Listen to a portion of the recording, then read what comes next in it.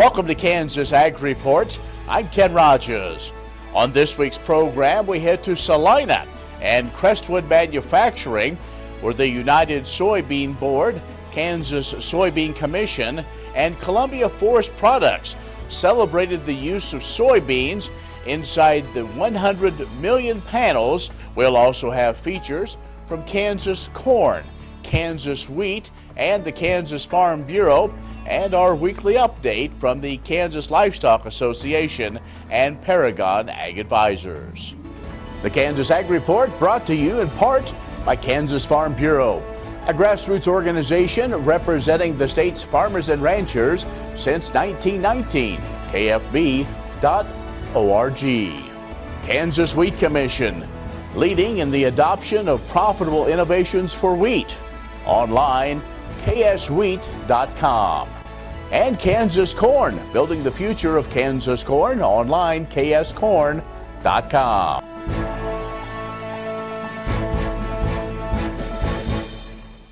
And agricultural news from agview.net.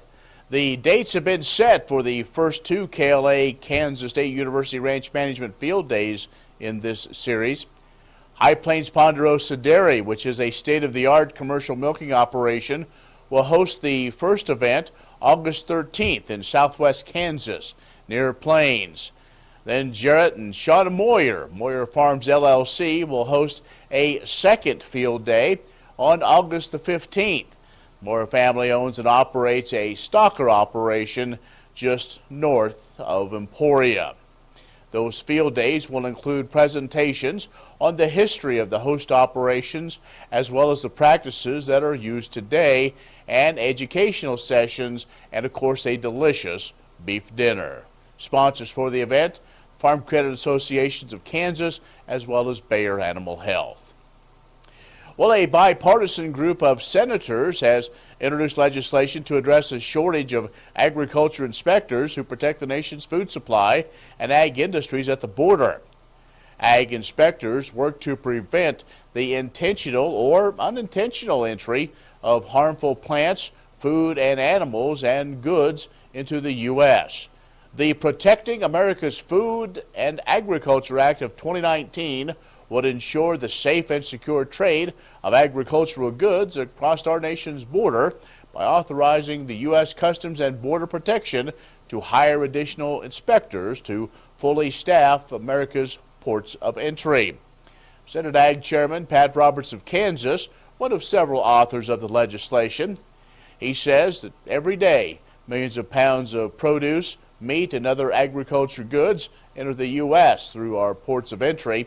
He said ag inspectors are responsible for ensuring that the goods move efficiently across the border while safeguarding against harmful pests, diseases, and even potential bioterrorism attacks. Find more ag news at agview.net. Stay with us. We'll have more in a moment.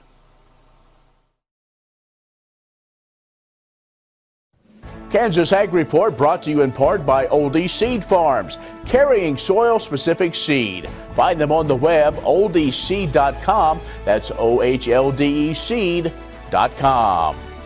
Kansas Livestock Association, supporting members' business interests and meeting consumer demands. KLA.org. Grass and Grain, online or in the mail keeping Kansas farmers informed for over 60 years. Grassandgrain.com. And Kansas Grain Sorghum, growers working together. More at ksgrainsorghum.org. Next time you see a beautiful field of corn, reach out and thank the farmers who work tirelessly to raise corn for livestock feed, renewable fuels, and exports to feed a growing world population. The farmers on the Kansas Corn Commission work for Kansas Corn with grower funded checkoff dollars that support foreign and domestic market development, research, promotion, and education to expand opportunities for Kansas farmers. To learn more, visit kscorn.com. What if U.S. soybean oil were an industry sensation? If end users started asking for it by name? That future is here the time is now. To meet customer demands, the Soybean Checkoff is investing in varieties that produce oil with increased functionality. A message from the Kansas Soybean Commission, the Soybean Checkoff. Progress powered by Kansas farmers.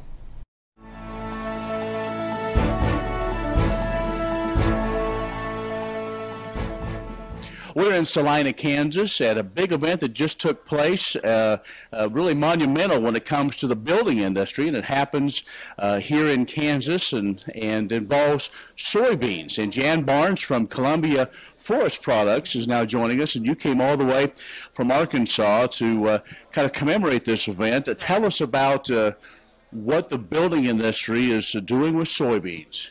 Well, what we have done since 2005, because of indoor air quality, we've actually teamed with the U.S. Soybean Association and created a resin made with soybeans that will uh, be a better bonding agent and will not have any formaldehyde emissions in it. And it's cost neutral to our consumers who buy it and to our customers who buy it. So that's what we've kind of focused on is something to take formaldehyde out of the product so people in their homes don't breathe in uh, something that's dangerous to them. Could you take us back to that point when you said, "Hey, we've got to do something different than than that formaldehyde in our homes"? Yeah. Well, when I started in the business, uh, everything was made with urea formaldehyde. That's just the normal process of what everything was made with. Uh, when you'd walk through the plants, you would absolutely see people that was allergic and had they would tear up and they had a lot of allergic reaction to the smell of the formaldehyde. And so we knew then that it wasn't a healthy uh, product to use. We got with our resin, our current resin people, and they weren't able to really give us any alternatives. And that's when we reached out to the soybean because we knew they were experiencing with different things as well to to grasp something that was better for us to use to make our product more healthy. So we've talked about cost neutral. Let's talk about uh, sustainability, life of the product, just like uh, what maybe my generation will be used to. Yeah, well, it's definitely going to be sustainable. As long as we've got good farmers in the industry like we do here in Kansas, it will be something that will be sustainable for us as far as using this same product. Uh, renewable, it's a renewable product uh, that will last a lifetime. I mean, in the Crestwood cabinets that you have, if you bought bought a set of cabinets from Crestwood, there's something that's going to last a lifetime. Okay, and again, you were here in Salina at Crestwood mm-hmm. celebrating the one how many numbers against unbelievable? It's 100 million panels that we have absolutely produced in, in North America. And if you laid those up, I think the totals that I had, if you laid them up end to end, you would be looking at a total of 151,000 miles of plywood that we've produced so far. Wow, well, that's great. We appreciate you, your support of uh, the soybean industry, and uh, boy, always exciting things. Look forward to see what the future holds, utilizing some of these products in, in your industry. Thanks. Yeah, thank you very much. Jan Barnes has joined us with Columbia uh, Forest Products. She's been here in Salina. Stay with us. We'll have more coming up. Kansas Ag Report brought to you in part by Kansas Farm Bureau a grassroots organization representing the state's farmers and ranchers since 1919. KFB.org. Kansas Wheat Commission, leaders in the adoption of profitable innovations for wheat. And AgView.net, covering news and views in the Beef Belt and Western Corn Belt. Reliable and relevant, AgView.net.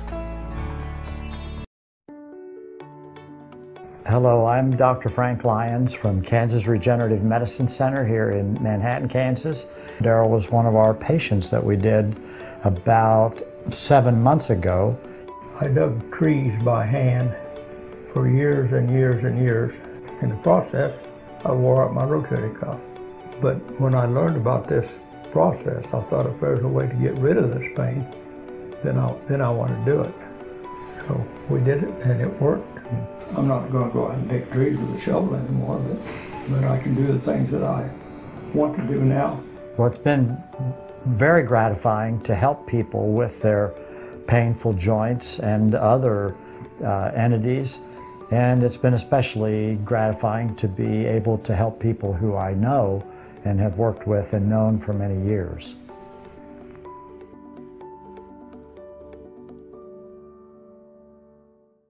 You don't have to be a farmer or rancher to become a Kansas Farm Bureau member. Anyone can join.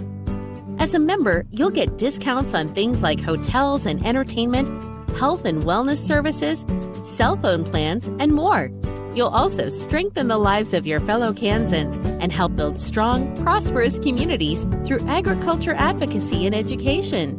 Join us today. Visit kfb.org/join to learn more. Many seed companies claim to offer the latest genetics, but how many have tested those genetics in soils just like yours? The Ohlde Seed Know to Grow research program has fully tested the latest seed genetics in soils that are right in your neighborhood. The Ohlde Seed Know to Grow program can recommend the best performing hybrids from technologies like Enlist, Extend, and Liberty Link that will optimize the yield and profit of every acre on your farm. Contact Ohlde Seed today.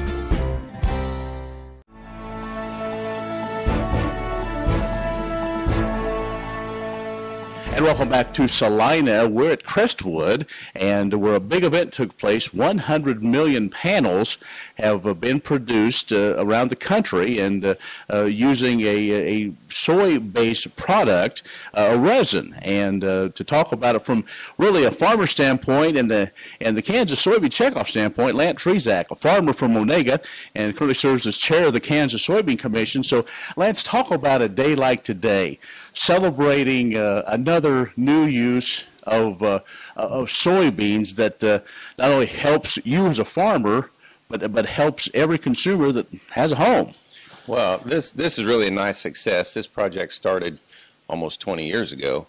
And, uh, and the good thing about it is it, uh, they use a soy flour and the USB worked with private individuals to, to develop this, started in Oregon State University and they use soy flour instead of formaldehyde for the glue in plywood.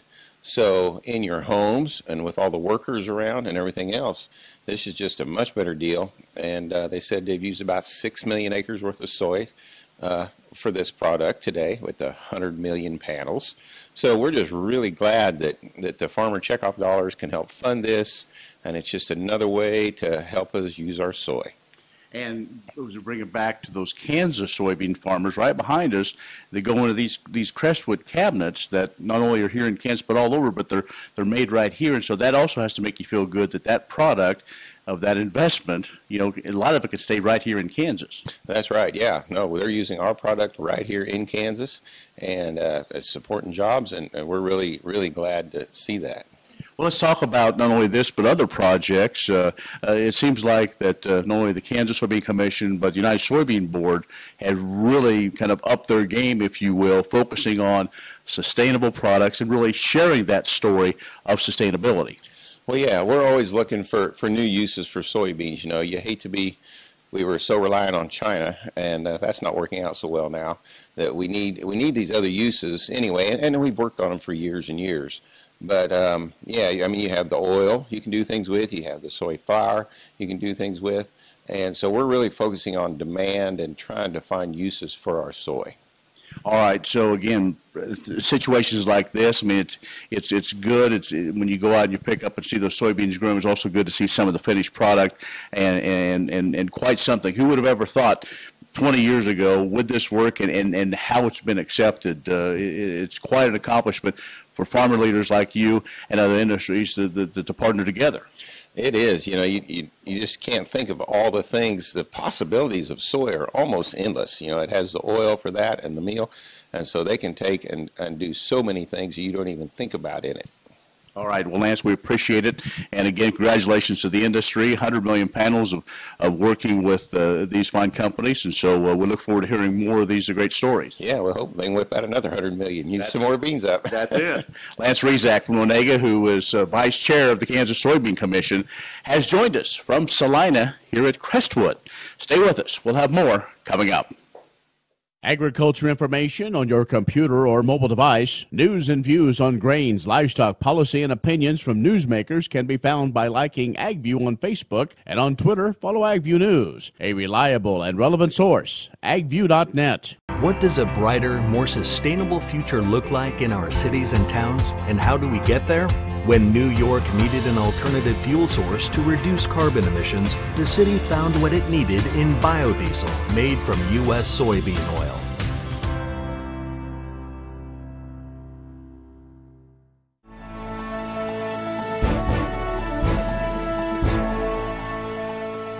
I'm JD Hanna. I'm a producer and a board member for the Kansas Corn Growers Association.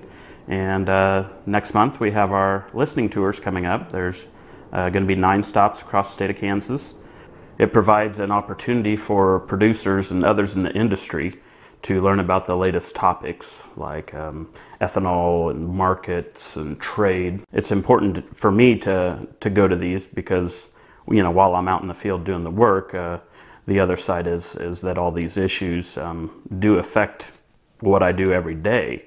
So um, it also allows um, staff to engage with the producers and, and, learn what their concerns are and, and maybe um, local issues that, that we're not aware of. So it allows the staff to engage with the producers and learn what the local issues are and, and other concerns they have. And, and, then that will help give us direction on where to uh, head with the association and the commission. Another important aspect is that it allows producers to get up to date on what the association and the commission are focusing on. These uh, tour stops are free, of course. Dinner and refreshments are always served, and it allows farmers reap the benefits of their checkoff dollar. A list of these uh, events are on our website, kscorn.com backslash tour. Agriculture information on your computer or mobile device. News and views on grains, livestock, policy, and opinions from newsmakers can be found by liking AgView on Facebook and on Twitter. Follow AgView News, a reliable and relevant source. AgView.net. What if sustainability were synonymous with U.S. soy? If energy efficiency, water quality, and soil health help define U.S. soy's value, that future is here, the time is now. To meet end user demands, the Soybean Checkoff is committing to sustainability that's achievable, worthwhile, and enduring. A message from the Kansas Soybean Commission, the Soybean Checkoff, progress powered by Kansas farmers. The Kansas Wheat Innovation Center in Manhattan is rediscovering ways to get improved varieties and new genetics in the hands of farmers faster. Grower led and checkoff funded research initiatives are bringing about positive change. This grassroots leadership provides a strong voice in Topeka and Washington, D.C. Now is the time to partner with Kansas Wheat in moving wheat forward. Kansas Wheat Commission and Kansas Association of Wheat Growers, farmers investing in their future and yours. Log on to rediscoverwheat.org.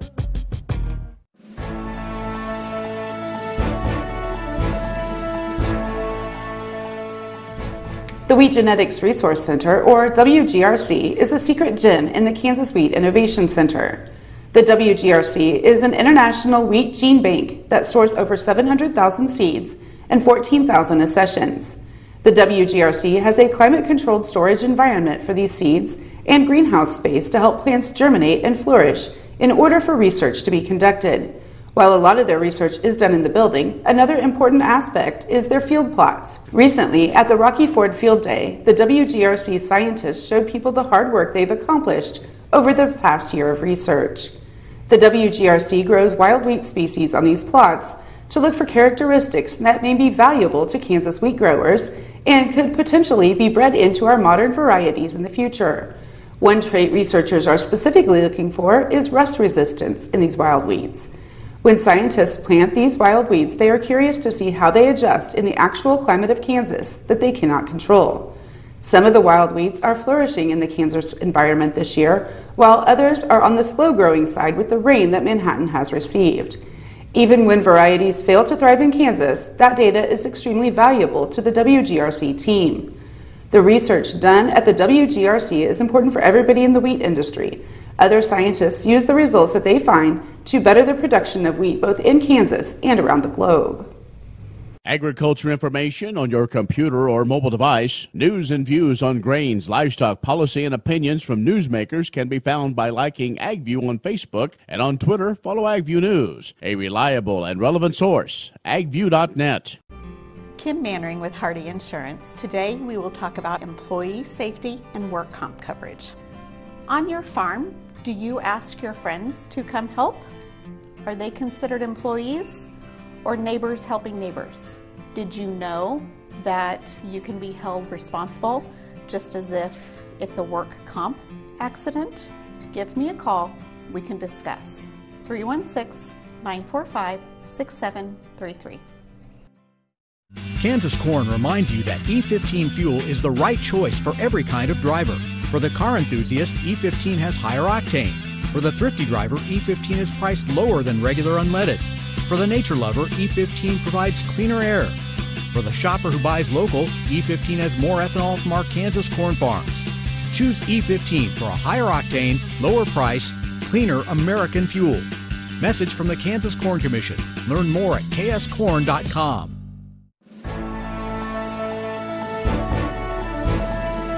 Kansas Farm Bureau is celebrating 100 years by going on tour across Kansas, and we want our members to join in. On Monday, July 29th, we will tour Juniper Hills Farms, a first generation farm with more than 150 acres of USDA certified organic land, along with 400 acres of conventional farmland in Douglas County. Then we will have lunch at Dalebanks Angus Ranch, a fifth generation ranch in Greenwood County. After lunch, we will head to learn about an innovative Ag in the Classroom program at Bluestem Elementary in Butler County, followed by an evening meal at Abilene Farms in Sedgwick County. On Tuesday, July 30th, our day will start with a tour of Cargill's new protein headquarters in Wichita. Members can tour the Stafford County Flour Mill and Water Tech Farm in Pawnee County. Finally, on Wednesday, July 31st, we will head west to tour NuLife, a sorghum processing facility in Scott County. Then make our way north to see research in action at the K-State Northwest Kansas Research Center in Colby. We will end our tour with an evening meal at the Prairie Museum in Thomas County. Space is limited and members are responsible for their own transportation. Meals are $10. To register, visit www.kfb.org. Premier Farm and Home has what you need to make your lawn the best in the neighborhood. Hi, I'm Ken. We choose Premier Farm and Home for the professional look that we do ourselves. Feel free to stop in. You can also visit our website at heycow.com. Fort Wallace was the fightingest fort in the West. Fossils, Indians, soldiers, scouts, wagons, trails, pioneers, stories. Discover the story of Fort Wallace and the people who served here, the people who fought here, the people who settled here. Wallace County, where the past is present.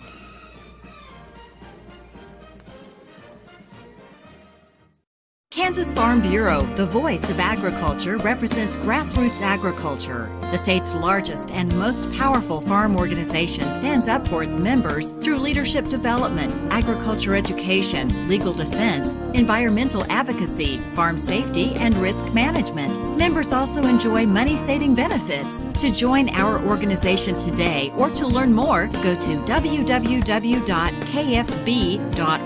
or find us on Facebook and Twitter.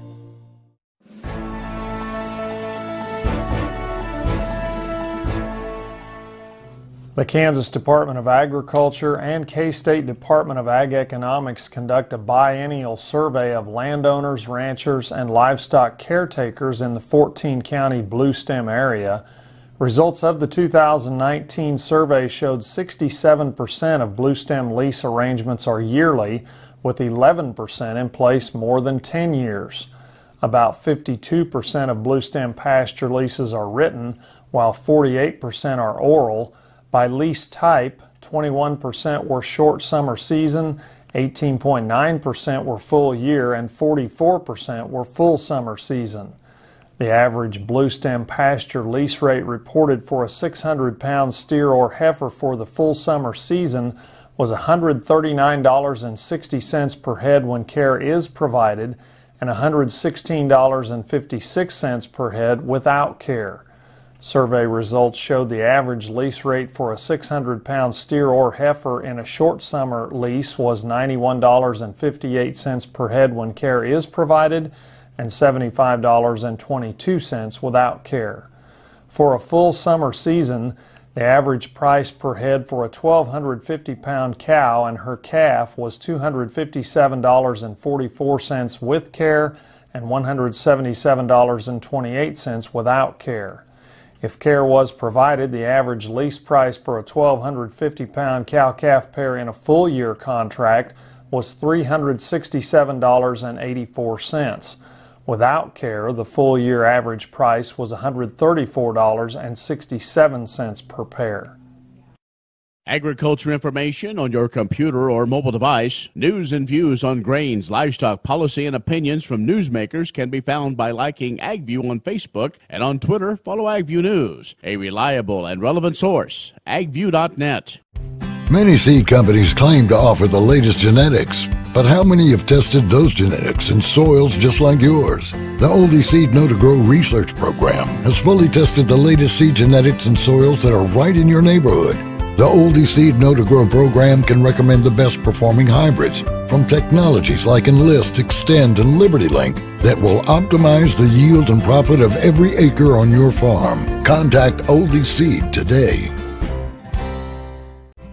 Kim Mannering with Hardy Insurance. Today we will talk about umbrella coverage. Did you know that if your cattle get out, you could be held liable for that? Call me. Let's have a discussion.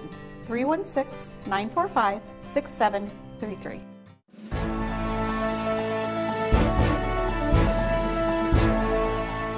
Hi everyone, Zach Otot here with Paragon Ag. The ag market seemed to be range bound after we moved past the last supply and demand report. For the near term, it seems as though the trade will be watching the weather. We have seen the rain let up and the heat increase across much of the Corn Belt. This has allowed for some of those poor, saturated stands to really take off. This was shown in the USDA's crop progress report, improving both corn and beans by 1%, rated good to excellent. Looking more at corn, we are all anxious to see the results of the resurvey of the planted acreage report that is set to come out in August. A lot of folks seem to have discounted the last one and hope to see cuts in corn planted. For now, I think many are more focused on a cut to the average yield. From a technical perspective, this week we have been able to maintain the trend line. Without a real newsworthy headline, we very well could see the market traded in a 50 cent range between the 420 and 470 level. Beans are still looking for a demand story. With Chinese stocks getting pushed to the back burner, it is tough to think that we will get anything legitimate in place before harvest. Beans still have to make it through the heat of July and August yet, before we can say that they are made. As we dried out, Wheat harvest is continuing to push north. Reports of yields have actually been better than expected. Between harvest pressure and wanting to follow corn, wheat is having a tough time trying to find a story of its own. We have been hearing reports of Russia backing off expected production this summer. If these rumors materialize, U.S. wheat may become more attractive. We're heading into a volatile time frame. With the thick of the summer weather still ahead of us, the market is poised to trade at a range that may lead you to have to make a decision. If you need to sell last year's crop or think you ought to start selling this year's, but are unsure you want to make a final decision now, let us help put a plan in place for your operation. Give us a call here at Paragon Ag Advisors at 888 452 8751. I'm Zach Otot. Have a great rest of your day. Well, that's our show this week.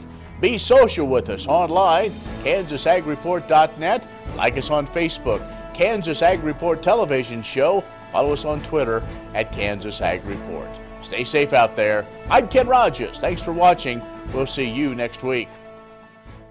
Agriculture information on your computer or mobile device. News and views on grains, livestock policy, and opinions from newsmakers can be found by liking AgView on Facebook and on Twitter. Follow AgView News, a reliable and relevant source. AgView.net.